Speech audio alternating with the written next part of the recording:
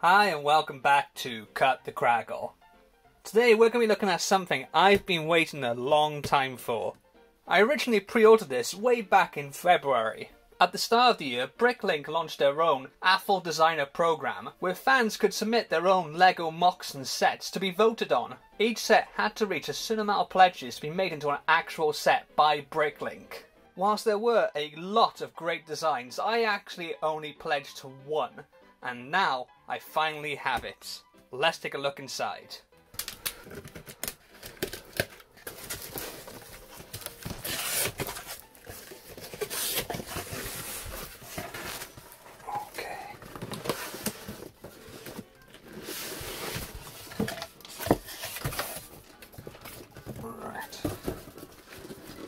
Oh, that is cool. So here it is, and I have to stress this is not an official Lego set. This is a official Bricklink set, including Lego pieces. It has been done to celebrate 60 years of the Lego brick, and they have worked with the Lego group and gotten their approval to do this. But you won't find this in any Lego shops or even any toy shops that you know sell Lego. As you can see, the set that I got was the Wild West Saloon. There's a big picture of it here. It's looking pretty good. So far, the packaging looks pretty good. It's a little beat up, I think, in transit. It has come all the way from the States over to the UK. You can see mine is set 440. There's a picture there of the interior. Let's have a look inside. Okay, so I don't know if you can see that very well, but the inside of the sleeve can actually be opened up, although I'm not going to. And uses a backdrop of kind of like a western landscape there. So yeah, you can see got the AFOL Designer Program, hosted by Bricklink. And Bricklink and Lego Group have worked together to produce this.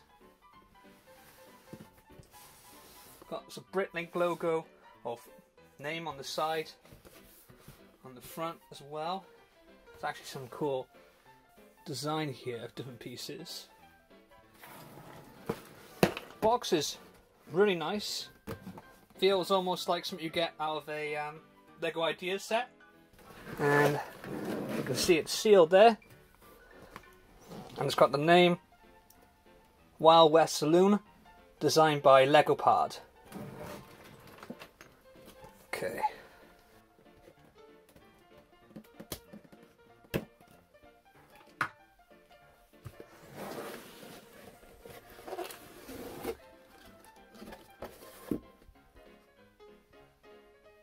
Stay.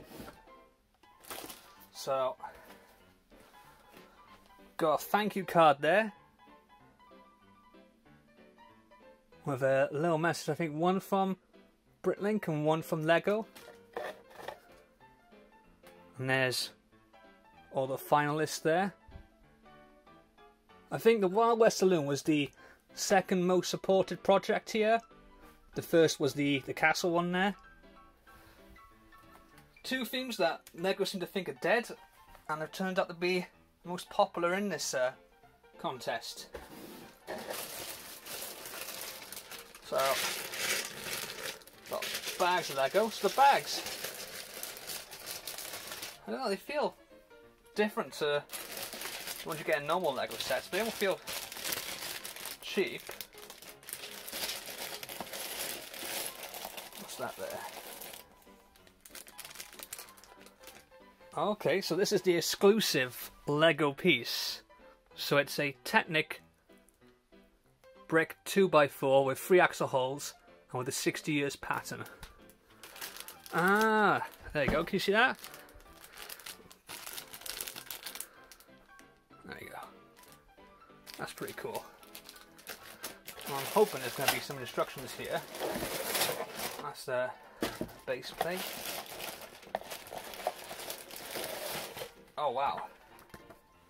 So there's the instructions. That's quite cool. I'm a bit beat up by that again. But looks very much like how Lego do them.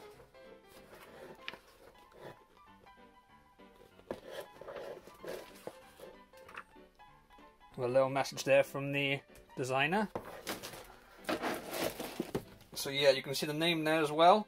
Wild West Saloon, designed by Legopard, who's from Germany. And there's 246 unique Lego parts for a total of 1,496 uh, Lego pieces altogether. I'm really excited to build this and get some minifigures in there. It doesn't come with any minifigures, sadly. You do get the horse, I believe. But I got plenty of Western themed minifigs anyway. It's funny though because Lego seems to think that Western and the Wild West is a dead Lego theme, and yet, as I mentioned earlier, this is or has been the second most supported project in the Bricklink AFOL designer program. If you'd like to see me review the Wild West Saloon from Bricklink, let me know in the comments below. Don't forget to like this video, and as always, if you haven't already, be a cowboy and hit that subscribe button. I'll see you next time. Laters.